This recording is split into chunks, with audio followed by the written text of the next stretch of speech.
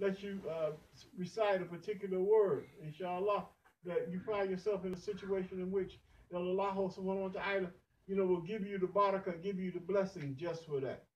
It could be a small word, and Allah subhanahu wa blesses us. So inshallah ta'ala, this is to allow us to understand, to grow, and to realize all of the blessings that we get during this particular word. Another thing that we should do during the particular time of Ramadan is realize that backbiting and other things are major sins. That during the time of the Prophet sallallahu alaihi wasallam, that there were some women one time, and the Prophet sallallahu alaihi wasallam came upon them, and they were backbiting, and he wanted to show them something. So he told them, he brought a container and told them to, to vomit. When they vomited, it was big chunks of, of bloody meat that came out. They were like, wow, what is this? He said, This is the back of the person that you were just backbiting. That to backbite is the same as eating the back of your brother or your sister. So, inshallah, this is something that we should, you know, try to uh, do. Another thing that we can do, inshallah, is praying Qiyamul Layl. That during the time of Ramadan, that we pray Qiyamul we get up at night, inshallah, we pray to Hajj, that we realize and understand the fact that Allah has given us the opportunity, inshallah, to stop sleeping. We get up and we know it's a sacrifice, especially inshallah, a lot of times in the winter months. You know, you get up, it's cold, the bed was warm, the blankets were warm, everything was warm. But inshallah, we get up and we stand before our Lord. One of the blessings of that particular time is that Allah subhanahu wa ta'ala has let us realize and understand the fact that Allah said that He descends during the time of Qiyamul Layl and he comes to the Lord's heaven, he cries out, Who is there? Who is in need of something that I might grant his wish or her wish? Who is there that is in need of, of, of some sin being forgiven? And Allah subhanahu wa ask a series of questions. And inshallah, this is something that my ustad taught me, you know, oh man, many, many years ago. That we have to ask ourselves, how can you lay in your bed knowing that the Lord of the world is asking you, do you need something?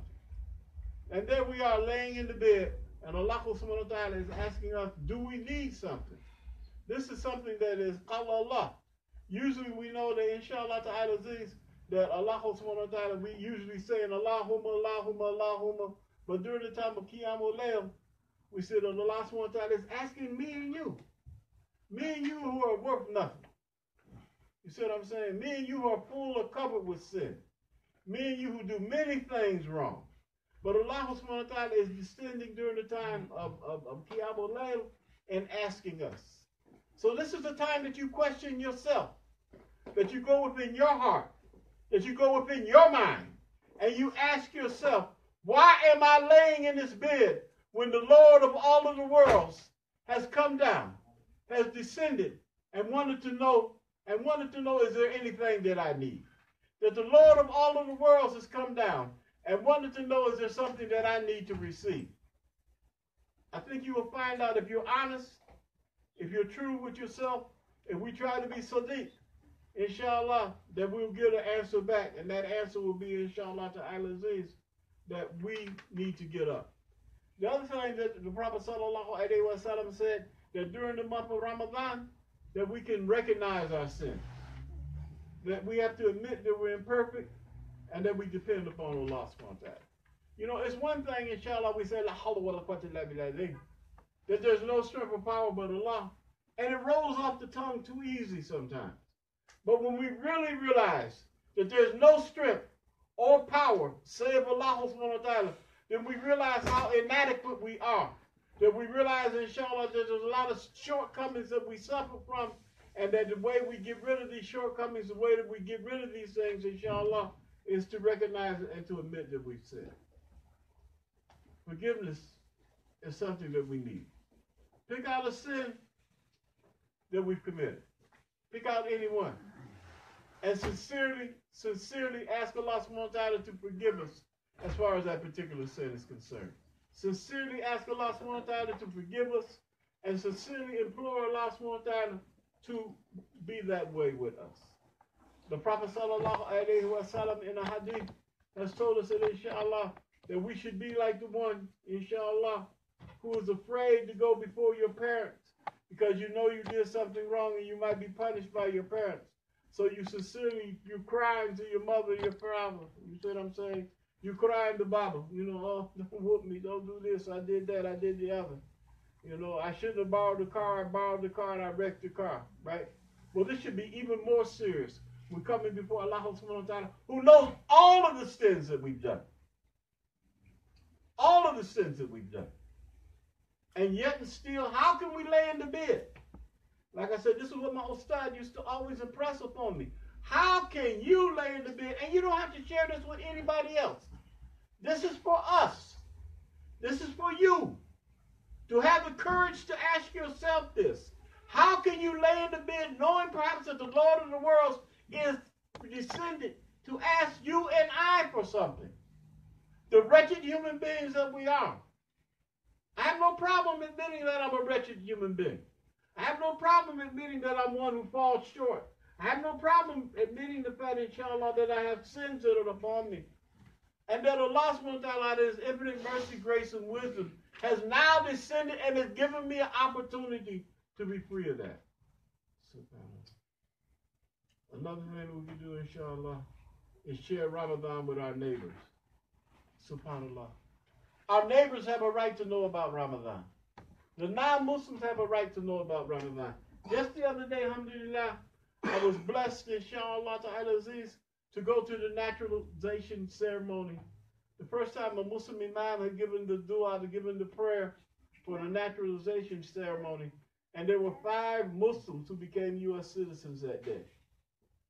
There was a couple of brothers from Iraq. There was a couple of sisters. Uh, there was a sister from Syria. And they were so happy to see that a Muslim was there, inshallah, along with all the other dignitaries welcoming them to becoming part of the United States. Well, this is something, inshallah ta'ala aziz, that we all should do.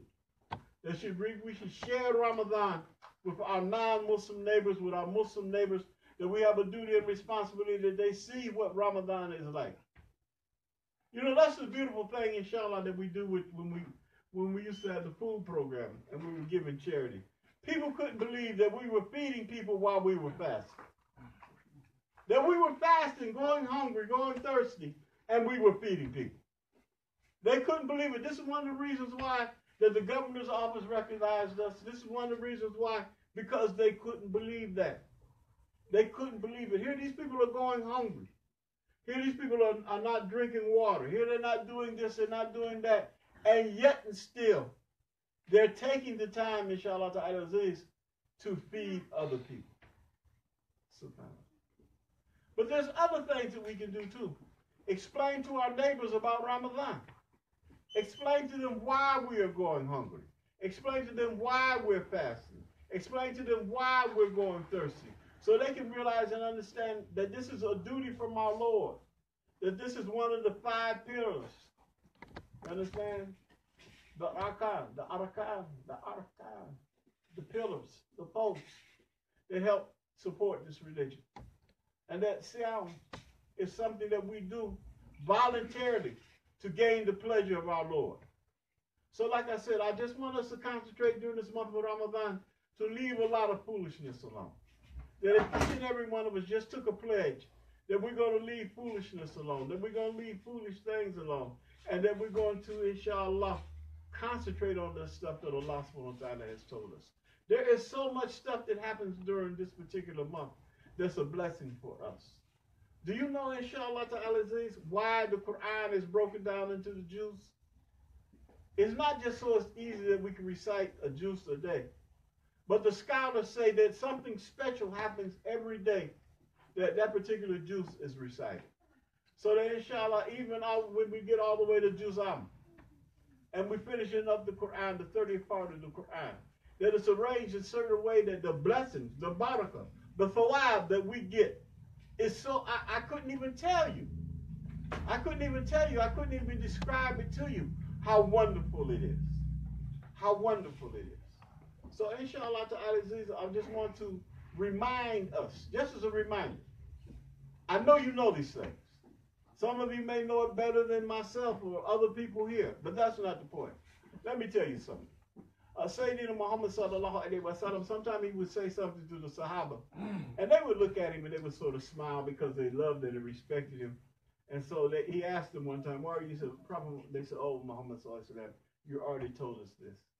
Oh, Muhammad sallallahu alaihi you just told us this. You told us that. You know what Rasulullah wasallam would say to them, with love, as much love and compassion in his voice, he would say, "I know you know these things. I'm just here to remind you." This is why the Quran is called the reminder. We all know certain things. And Alhamdulillah. We all know certain things. We all realize certain things. But the Quran is the reminder. Inshallah. Because we all need to be reminded. That's why, inshallah, you see, you go uh, to a masjid, and inshallah, there may be a hafiz there. Well, usually there's another hafiz there sometimes because the hafiz can correct the other hafiz if he misses something in the Quran, right? We all need a reminder. We all need a reminder. And that's the beauty about the Quran. And inshallah, the Prophet Muhammad sallallahu alaihi wasallam was the best reminder that we had. Because when we saw something to say, for example, you understand, Kala Abu Hurairah radiallahu an, Kala Rasulullah sallallahu alaihi wasallam, then it reminded us, said Abu Hurairah radiallahu an, that the Prophet sallallahu alaihi wasallam said. So inshallah, we feel good about that. Because inshallah, the best way, my teachers always taught me, is to look at the hadiths. Look at the hadiths, inshallah, as, as a reminder that you needed that particular day. Look at the Quran, inshallah, as something that we needed that day. Inshallah, as I close out this part of the khutbah, the, the, the Quraysh used to always bug Prophet Muhammad sallallahu alaihi wasallam about who is Allah. Who is Allah? Who is Allah? Who is Allah? Blah, blah, blah, blah. On and on and on, they would bug Sayyidina Muhammad sallallahu alaihi wasallam. They say, yeah, we know everything there is about about Allah or, or, or Hubal or Billahi, some of the pagan gods that existed there.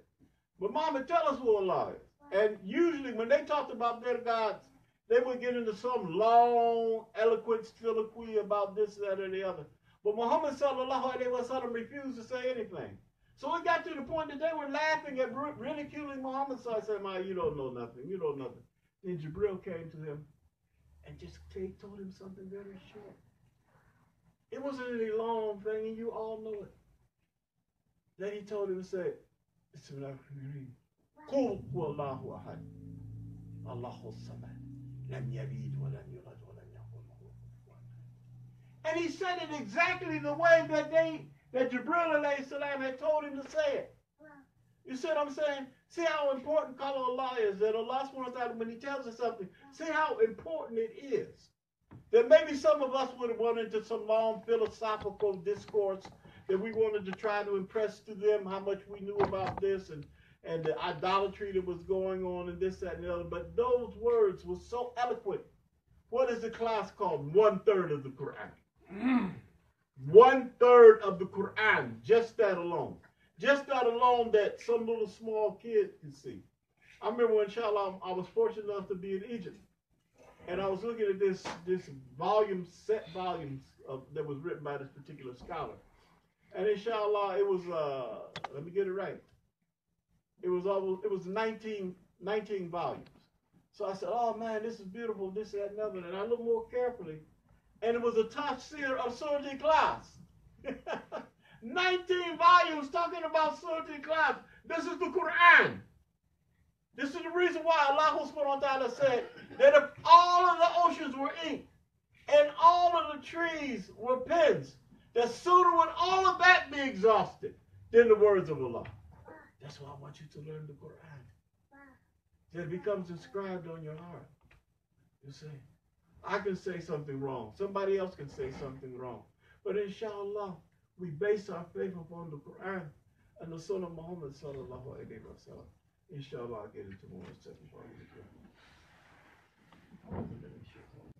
الرحيم نبض نصلي رسوله الكريم ونشهد أن لا إله إلا الله وأشهد أن محمد رسول الله صلى الله عليه وسلم just when we're saying the basmala my teachers had always taught me that it should roll off your lips like a lover talking to his beloved. You know how when you're talking to your wife and you're saying something to her, something sweet, something beautiful. Ah, Habibi. You know how we do it. Well, inshallah, it should be the same way toward Allah subhanahu wa ta'ala, even more.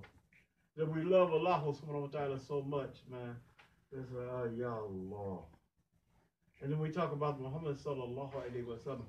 That the sallallahu alayhi wa sallam should roll off our lips the same way. That I love you, Muhammad sallallahu alayhi wa sallam. I love you. I love you. This the hadith, and you know it as well as I do. It said that we should love Muhammad sallallahu alaihi wasallam more than we love our mothers and our fathers. Do you know how much how deep that is?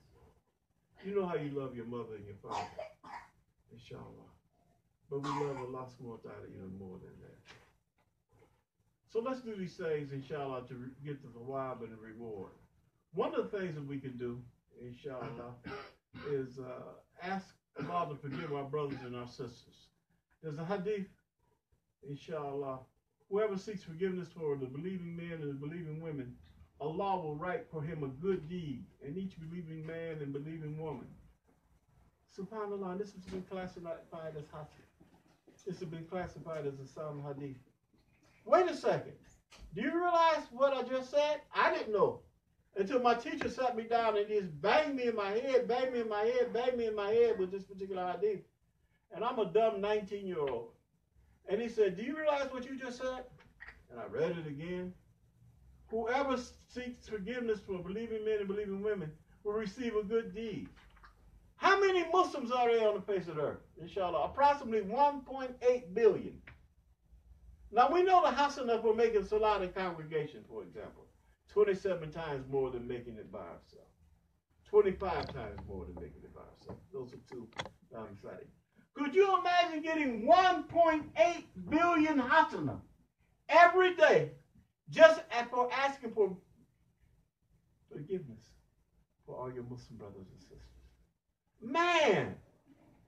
Now, correct me if I'm wrong. Just say, uh, you don't have to say it out loud. Imam, I don't need 1.8 billion hasana. Okay, I leave you alone. I'm the first one to put my hand up and say, I do.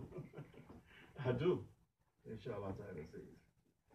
The Prophet wasallam said, it was narrated by Abu Hurairah and whoever says, Subhanallah will wa bihamdihi wa subhanallah each morning and his sins will be erased even there like the foam on the sea. This is recorded in Bukhari and Muslim. Subhanallah. Subhanallah. Just from small things. That all too often we get hung up in the big things. But here Allah subhanahu wa is telling us that if we did that a hundred times in the morning and a hundred times in the evening, his sins will be erased. Subhanallah. Ya ibadallah realize and understand that there are so many small things that we can do. And that each thing we do during the month of Ramadan is magnified at a minimum of 10 times the thawab, 10 times the reward we would get. Another time, you know, I like to talk about the real aspects. And, and, and I, I, thank my teacher so much, and I hope Allah subhanahu wa ta'ala eliminates all of the teachers I've had. I hope that He illuminates their, their grave with light because they've all gone on. The Prophet ﷺ one time was talking to the companions, and he was telling them how much blessings, how much uh, they would get for giving sadaqah. And they were all so happy about giving sadaqah and this, that, and other. And then he came up with another group of the, the, the Sahaba crime, and they were crying. And they said, what's going on? What's going on? He said, Ya Rasulullah, we, we, we feel bad. He said, what's? He said, Rasulullah, we're the miskin. We're the miskin. We don't have anything to give. And you just tell all of these other brothers, inshallah, all the blessings they can get, all the thawab they can get, all the ajr they can get just for doing this. The Prophet says to smile at your Muslim brother is a form of charity. So you just came in here and you smiled at everybody in here. Subhanallah. You're not talking because inshallah the football score. You smiled at everybody. And subhanallah. That's the blessings you got. That's the blessings you got. There, there's so many little things. You walked, you were coming into the masjid, and you saw there was a stick, a branch, that was in the pathway. just to clear that stick, that branch out of the way so nobody trips or falls over it, you get a bunch of blessings. You see, all too often we try to look at the big, big, big thing. And there's nothing wrong with that. Don't get me wrong, inshallah. I think Allah subhanahu wa ta'ala for the big things that we can achieve. But these are small things, inshallah, that Allah subhanahu wa ta'ala in his infinite mercy and wisdom gives us the opportunity to gain the reward of. To gain the reward of. SubhanAllah. We can intensify our ibadah. The Prophet sallallahu alaihi wasallam said that the deeds must be loved by Allah are those who are done regularly, even if they're small. That the deeds that are loved most by Allah are those that are done regularly, even if they're small. So you have a particular habit of doing something, inshallah, but you do it regularly. Those are the deeds that are loved most by Allah subhanahu We realize and understand the fact that we do it with the intention of pleasing Allah and be forgiven for our sins. If we were to see the amount of sins that we carry on ourselves, it would be like a big 800 pound gorilla riding on your back. But there's a way to get it off. There's a way to get it off of me. And that's by doing those things which are going to please Allah We all know, inshallah, that even to offer a fasting person, just even some some some old milk and some crusty bread to break their fast with, there's a tremendous amount of blessings. So inshallah, my point I'm trying to make, inshallah, is up our up our ibadah. Up our ibadah. Try to do more. We all can do more. We can all help each other more. Do we have shortcomings? Of course we do. Of course we do. I was uh, talking to somebody the other day. I was at the hospital. And they said, oh, I'm so sorry to see that you're on that walker and that you messed your hip up again. I said, I'm not. this non-Muslim looked at me and said, oh, you crazy? I said, if this is something that Allah is doing to cleanse me of some sins I've committed, I love every piece of pain that I'm receiving right now. This is not my idea. This is something I learned from the beloved. That I learned from the Prophet sallallahu alaihi wasallam. That if Allah loves you, a lot of times, if you don't complain about it, it's not an affliction. If you complain about it, it's an affliction. If you don't complain about it, and you realize that whatever Allah ta'ala has for you is good for you, Alhamdulillah. I just was blessed by Allah to have my 36th grandchild born this week. So how can I complain about anything? When I'm looking at my brothers in, Syria who are burying their grandbabies under the rubble of the fitna that's going on in Syria right now. Like I said, and I, I make no bones about it. I don't care who doesn't like it. Those are my brothers and my sisters and their children are my nieces and my nephews. I don't care if they've never, I've never met them before. I don't care what ethnic group they're from. I don't care if they're Kurd. I don't care what. They are my brothers. They are my sisters. And my heart cries with them. My heart cries with them. So inshallah to Aziz, you have to ask yourself, you have to ask yourself, does your heart cry with them? I can't answer. Do you feel the pain that they're going through? Or take any example of what the Muslims are going through right now. Ya Ibadullah. I hope and I pray, inshallah, that we take advantage of this month of Ramadan. I ask uh, each and every one of us to reflect upon that. My sheikh used to tell me, I said, Sheikh, how can I tell if I had a good Ramadan? He said, if you came out of it better than when you went into it, inshallah. If you can honestly say, and I mean be hard on yourself, if you can honestly say that you are a better Muslim at the end of Ramadan than when you were when you started Ramadan. And that's not to impress anybody. I'm not saying you have this conversation with anybody else. You're not here to impress anybody. I'm not here to impress anybody. Whatever we do, matter of fact, the hadith says that the right hand shouldn't even, the left hand shouldn't even know the, the charity that the right hand is doing. You know what I'm saying? That's how it should be. That's how it should be. That inshallah we do it purely for the love of Allah subhanahu I was talking to a brother one time, he said, you know, Aki, alhamdulillah, man, I, I, I, I'm, I'm like this and I'm like that because inshallah, there's this brother that goes to the mosque and I don't like him. And but I put up with him for the sake of Allah. I said, well, you know what?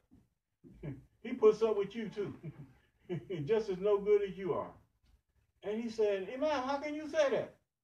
Because you don't know. The person you're talking about could be a hundred times better than you.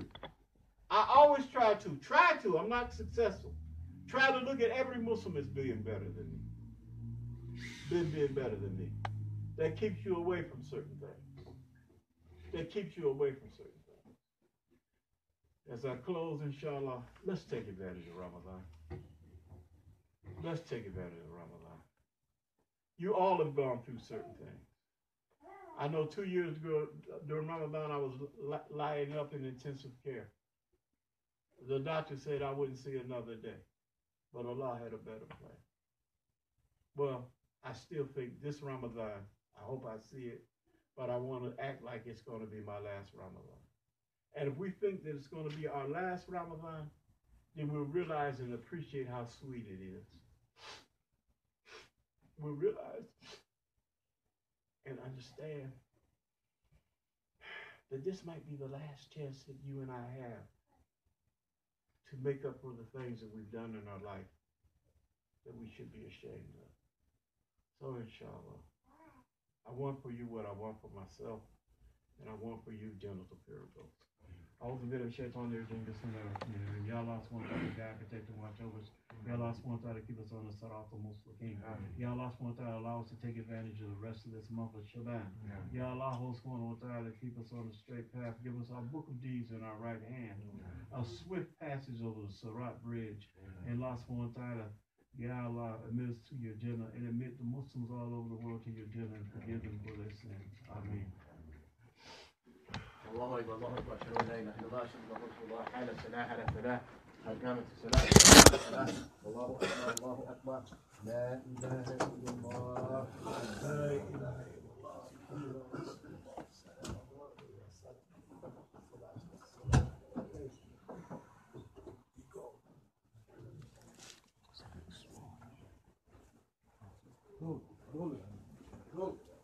Stout, stout.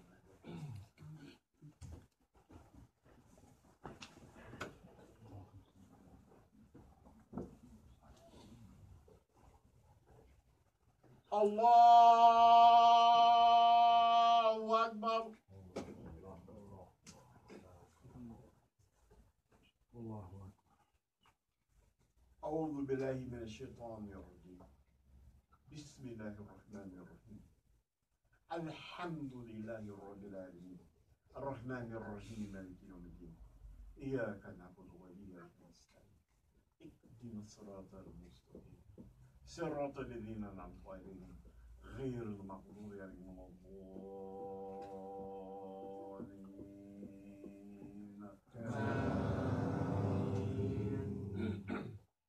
إذا جاء نصر الله والفتح ورأيت الناس يدخلون في دين الله أفواجا فسبح فسبح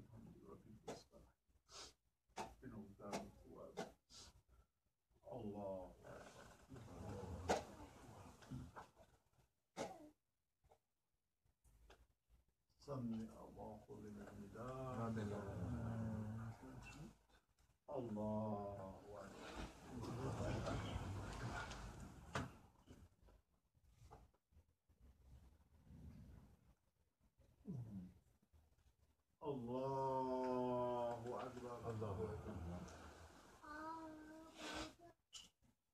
الله أكبر.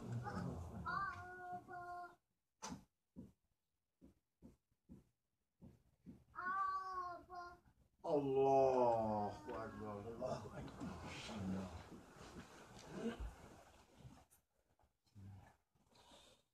الحمد لله رب العالمين. الرحمن الرحيم مالك يوم الدين. إياك نعبد وإياك نستعين. اهدنا الصراط المستقيم. صراط الذين أنعمت عليهم. غير المغضوب عليهم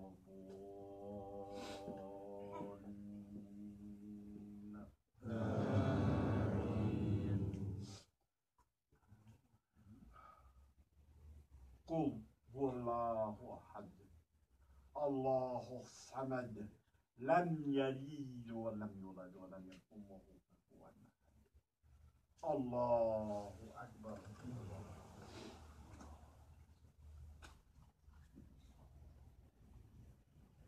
سمي الله لمن الله أكبر.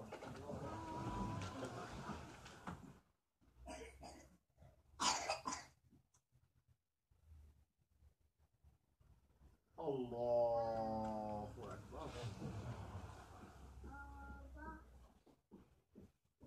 Allah,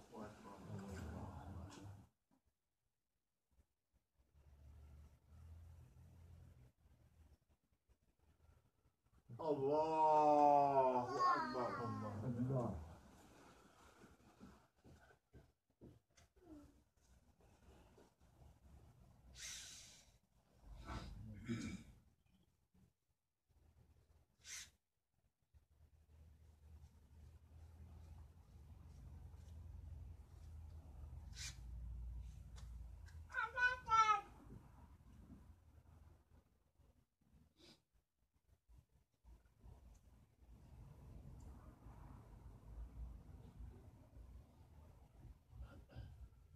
Assalamu alaikum wa rahmatullah. Assalamu alaikum wa rahmatullah. Stop. I have a couple of quick announcements. Inshallah, I'll try to be brief. Uh, inshallah, our dear brother Abu Bakr, his father passed away this week. Abu Bakr uh, from, uh, from, uh, Niger. His father passed away, inshallah. So make dua, inshallah. We have a wedding next after Juma.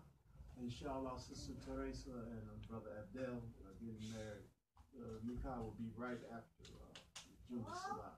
Inshallah. They're also going to have a walima, and we'll announce the location for the for the walima. Also, inshallah, they're having a uh, the sisters are having a henna party uh, inshallah. So go on the masjid's uh, Facebook page, and uh, I have somebody post that on there. Also, inshallah to Aziz, uh, remember and uh, keep all the Muslims all over world in your dua. This is very, very, very important. We're, we're at a, a point. Also, inshallah, for those you know, Brother Haji, Brother Haji, inshallah, was in a very bad industrial accident. Uh, the whole right side of his body was uh, crushed in, a, in an accident. Uh, he's at Akron City Hospital in intensive care. He's already had surgery and he's going to have some more. It's a duty, if we can, to uh, visit the sick. Uh, the hospital, the blessings is, is great for that. Aziz. Also, inshallah, uh, thank you for your prayers, your du'as, uh, inshallah, myself, my family.